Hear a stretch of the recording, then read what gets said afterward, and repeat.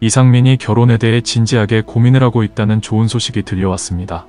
지난 돌싱 포맨 방송에서는 이상민과 상대자의 제주도 데이트 장면이 공개가 되어 많은 관심이 집중되고 있는데요. 결혼에 대해 간절했던 이상민에게 찾아와준 그녀가 누구인지 시청자들의 궁금증이 집중된 가운데 이상민과의 행복한 데이트 장면이 공개된 상대자는 다름 아닌 배우 이수경이었습니다. 이수경은 다양한 드라마에서 활약해온 예쁜 외모를 가진 배우로 이상민에게는 선물 같은 그녀였고 이들은 야외 피크닉 데이트를 가지며 즐거운 시간을 보냈는데 이상민은 꽃 선물과 도시락을 챙겨 만나기로 약속한 한 예배당 앞에서 그녀를 기다렸고 멀리서 그를 발견한 이수경은 몰래 다가가 깜짝 놀래키며 이상민의 마음을 설레게 만들었습니다. 순간 이상민은 깜짝 놀랐지만 행복한 표정을 감추지 못했고 이수경의 얼굴에도 웃음꽃이 피었는데요. 이상민은 피크닉 데이트를 준비했다며 일단 예배당 안으로 들어가 소원을 빌자고 제안했고 예배당 안에는 둘만의 오붓한 시간을 보낼 수 있는 작은 공간이 준비되어 있었습니다. 이상민은 각자 이루고 싶은 소원을 공책에 적고 기도하자고 말했고 그 말을 들은 이수경은 소원이 너무 많은데 라고 말하며 상민과 함께 자신들의 소망을 공책에 적어내려 갔는데요. 이수경은 올해 좋은 인연을 만들고 싶다는 소망을 적었고 이상민 역시 올해 꼭 좋은 사람과 가족을 이루고 싶다고 적어 둘의 마음이 일치함을 엿볼 수 있었습니다. 상민이 적은 글을 본 수경은 우리의 소원이 꼭 이뤄졌으면 좋겠다는 마음을 상민에게 표현했고 이상민 역시 인생의 조력자가 될 자신이 있다는 말로 이수경에게 자신의 마음을 표현했는데요. 이들은 예배당에서 나와 야외 풀밭을 향해 함께 이동했는데 이상민은 꽃 선물을 전달하며 꽃과 이수경이 헷갈릴 것 같다는 사랑의 멘트를 던졌고 이수경은 태어나서 피크닉을 딱 한 번 해봤다며 상민과 인생 두 번째 즐거운 피크닉 데이트를 즐겼습니다. 이상민은 이제 정말 동거 아니면 결혼을 하고 싶다고 말했고 이수경 역시 연인과 스킨십하고 싶으면 해야죠라며 자신의 적극적인 연애관을 드러내기도 했는데요. 이상민은 얼마 전까지만 해도 스케줄이 바빠 결혼이 쉽지 않을 것이라는 의견이 지배적이었지만 이제는 어느덧 그가 혼례식장에서 신랑으로 등장하는 장면을 볼 날도 멀지 않게 된 것 같습니다. 이수경의 나이가 82년생 42세이니 이상민과 나이도 적당하게 잘 맞는다는 생각이 드는데 물론 젊은 시절에는 두살 연상인 이혜영과 만나기도 했었고 당시 상민의 모친도 이혜영을 많이 예뻐했었으며 미운 우리 새끼의 이혜영의 절친이자 이상민 부부와 자주 부부 동반 모임을 가졌던 오연수가 출연했을 때는 유난히 반가워하며 혜영이가 상민이랑 친구처럼 잘 지냈으면 좋겠다 라고 말해 자신의 아들과 헤어진 전며느리를 미워하기는커녕 오히려 따뜻한 시선으로 바라봤던 심경을 드러내기도 했었습니다.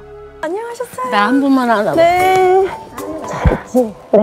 네. 상민이와 관련이 엑스며느리 저는 그래요. 앞으로 혜영이가 뭐 상민이랑 같이 친구처럼 그랬으면 그럼요. 좋겠고.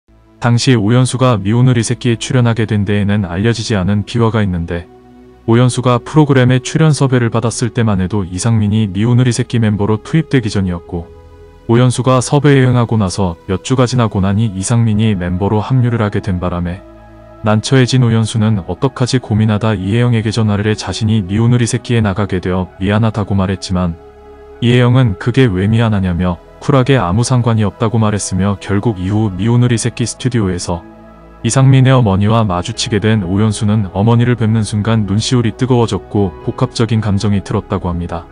또한 이혜영은 과거 자신의 파경을 전 국민이 모두 알고 있었던 괴로웠던 시절도 있었지만 이제는 자신의 인생 한 편의 영화에 다들 출연자로 재미있게 나왔던 것만 같다고 느끼고 있고 이제는 진심으로 이상민이 잘 됐으면 좋겠다고 생각하고 있으며 한때 시어머니였던 이상민 모친의 비보를 접한 뒤에는 역시 애도하며 안타까움에 눈물을 흘렸다고 합니다.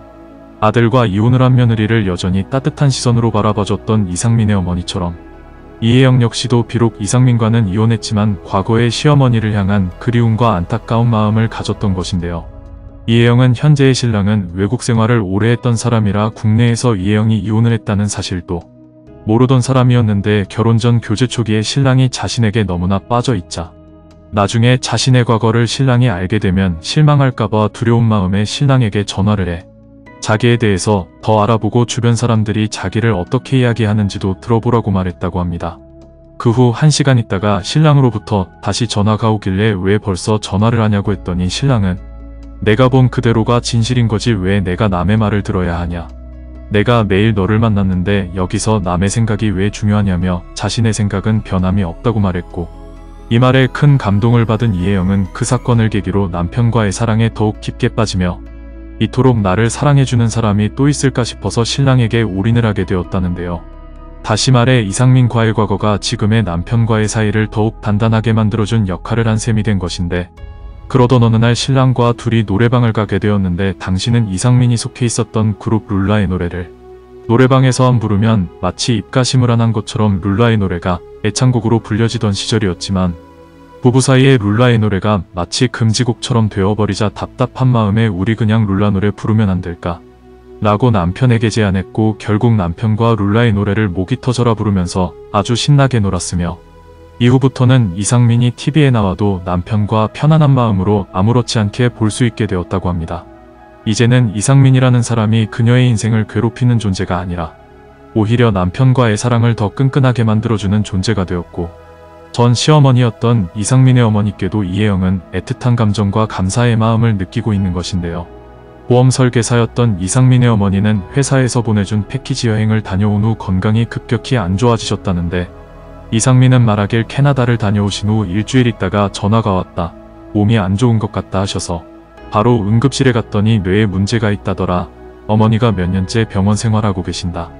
뇌가 안 좋아서 입원을 하셨는데 수술할 수 없을 정도로 혈소판 수치가 감소돼 이것부터 고쳐야 한다고 했다. 1년간 고칠 수 있는 방법을 못 찾다가 좋은 주사를 만나 일주일에 한 대씩 맞아야 하는데 그게 150만 원이다.